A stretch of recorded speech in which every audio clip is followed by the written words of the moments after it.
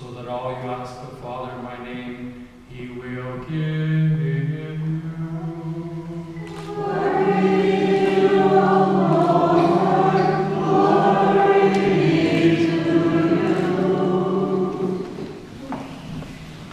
We honor Sister Ann and Sister Monica for 50 years of service. Most of the time, people that are celebrating their 50th anniversary, especially if they're a priest, they're planning their retirement. They're planning the next 20 years. And that's the difference in vocation. And that's the difference that a vocation lived as a way of life makes. That no matter what the age, no matter what the state of life, no matter what the infirmity, the mission of the sister is unchanged. And rather than stopping, it transforms. And rather than ending, it changes. And though the world around them may become smaller or larger, whatever it is they need to do, they do. And the most fun part of all of this is that if any of you have ever had a conversation with Sister Ann or Sister Monica, you know that you can't get a word in edgewise. so it's nice being able to up here and just keep talking they can't say one word.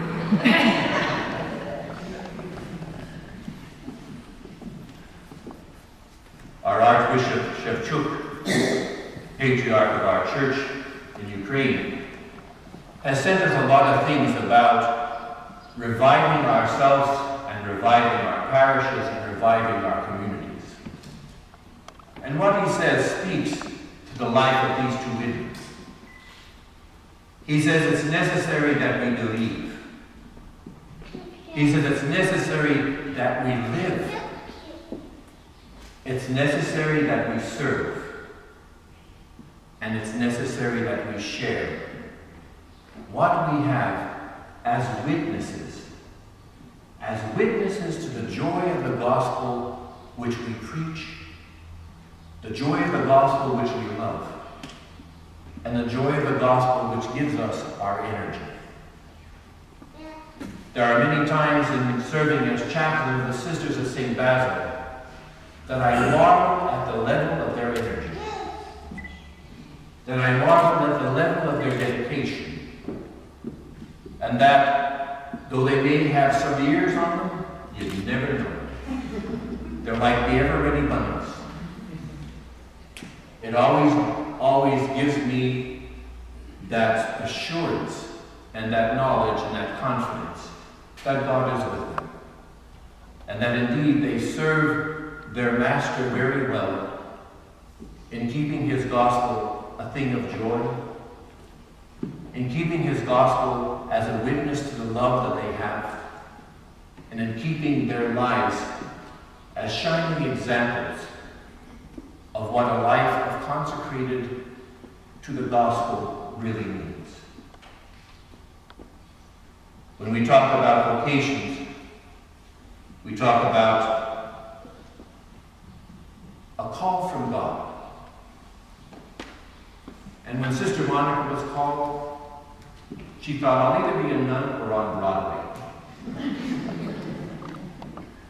and she came into the convent and she thought, I like to sew and I like to cook. I'll do that. And they said, Monica, you're going to teach. And she's been doing it ever since and doing it well. And with Sister Ann, our global trekker, she plays a unique part in the community.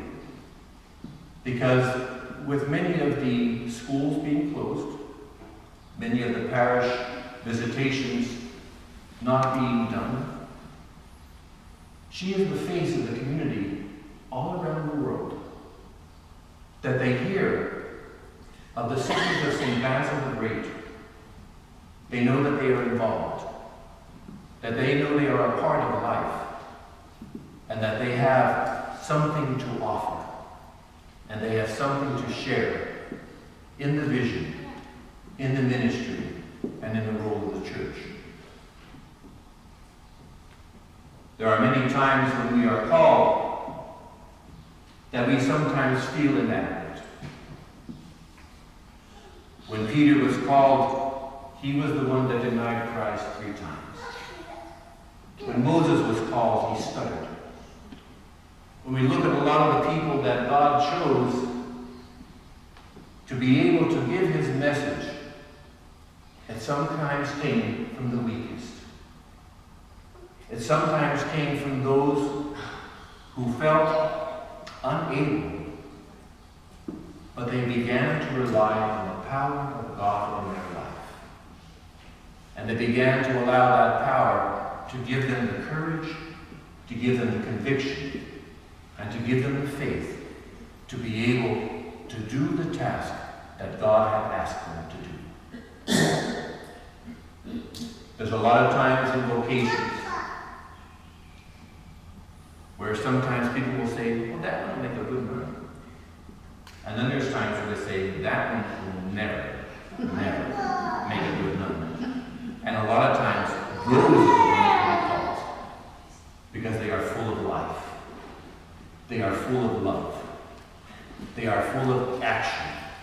And they are full of that energy which invites people in to the life that we can have when we truly, truly put our hope and put our trust and put our faith in our God. There are probably hundreds of thousands of people that your two lives have touched. And today, whether they be living or dead, I'm sure they share with you the same love and the same concern and the same joy of being able to say thank you. To be able to say thank you for your love, your witness, and your love.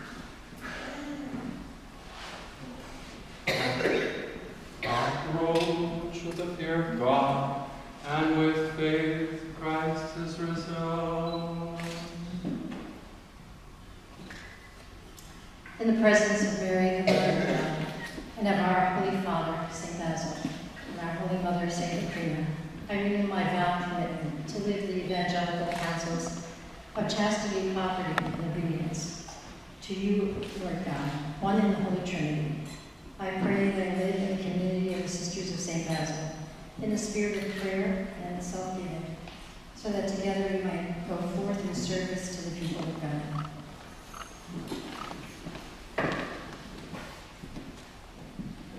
In the presence of Mary, Mother of God,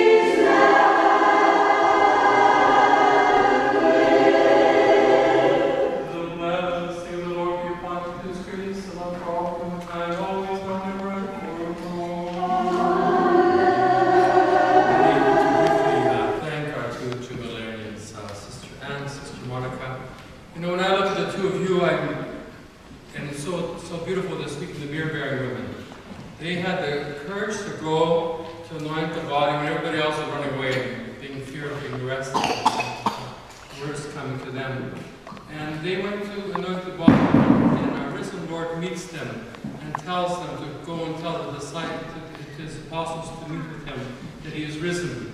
They had courage, and then they ran through the, through the cemetery to go and tell the others, first out of fear and of shock, and then enjoying happiness that they had seen the risen Lord. And when I look at the two of you, and the, the two of you that I've come to know these past 14 years, you are like those myrrh bearing, holy myrrh bearing women. Because you run like they do. I see sometimes Sister Monica on the grounds here, man, oh man, example of Father saying the bunny, that's not good enough. You're, you're on double the battery size. I've never seen a woman walk so fast. I haven't seen you run yet. But, and you too, sister, you're always busy, you're enthusiastic. You show much courage and enthusiasm to bring that torch of St. Basil, example he gives you, to spread the faith, to bring the faith to your students, to the people that you're serving in the catechetical programs, the different missions that both of you have done. You've done it with enthusiasm, you've done it with great courage. And the church, on behalf of the church, there aren't words enough to express our gratitude to you. We pray for you that God continue to richly, bless you with that same energy, the life-giving energy that inspires others to also serve and to love the Lord and, and to take on speed in that passion to love the Lord. You, how the, the, the apostles on the road to Emmaus did not our hearts burn with passion as they explained to us all that is all that, all that happened.